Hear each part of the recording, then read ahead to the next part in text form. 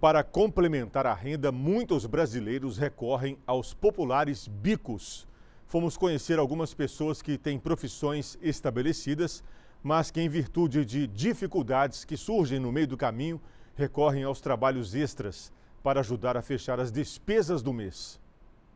Contas com valores cada vez maiores e o salário cada dia dando para arcar com menos do que foi projetado. Às vezes, só com básico mesmo. Essa realidade nada fácil para a grande maioria dos brasileiros faz com que quase 71 milhões de pessoas busquem por uma ou mais fontes de renda.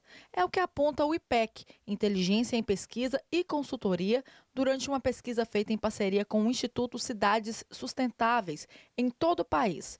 Essa professora, especialista em gestão financeira e empresarial, explica que o atual cenário econômico tem feito muita gente buscar alternativas para sair do sufoco. Hoje a gente está vivendo uma realidade onde é, a gente vê um aumento significativo nos preços e acaba que a renda principal é, do trabalhador, às vezes, ela não é suficiente para suprir todas as necessidades dele.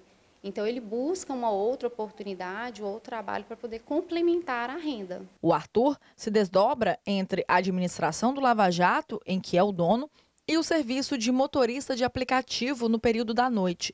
O microempreendedor conta que na casa dele, os irmãos, a mãe Magna Maria e até a noiva também têm mais de uma renda.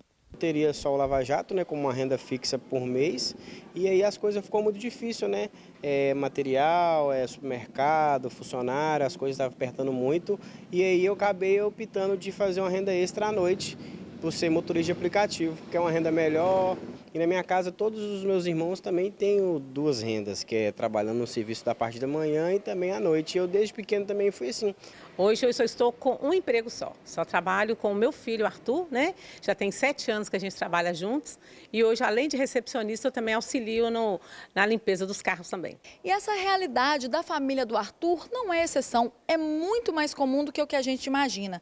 Retrata o cotidiano de 45% dos brasileiros que se viram, se reinventam para conseguir dar conta das contas do mês ou então ter um pouco mais de conforto.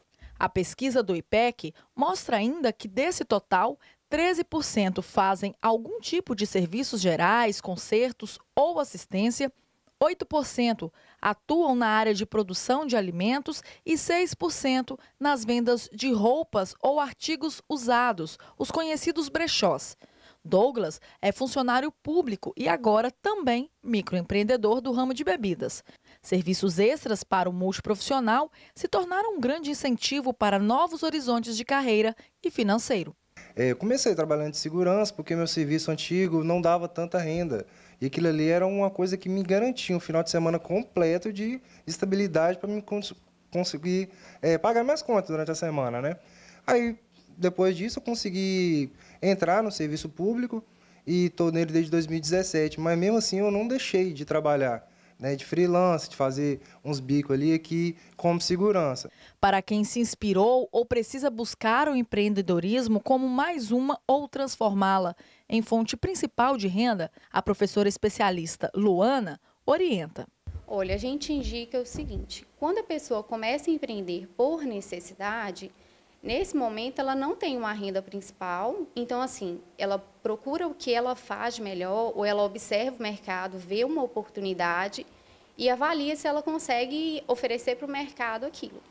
Quando a pessoa já tem uma renda principal, sobrou um tempo e ela tem o interesse, a vontade de empreender, normalmente a indicação é não abra mão do seu emprego inicial que te sustenta comece a empreender mantendo esse primeiro trabalho para que você possa fazer esse negócio seu começar a se sustentar, para que as pessoas possam começar a conhecer você, saber que você oferece esse produto. E aí você comece também a planejar como que você vai dar crescimento para esse negócio, né?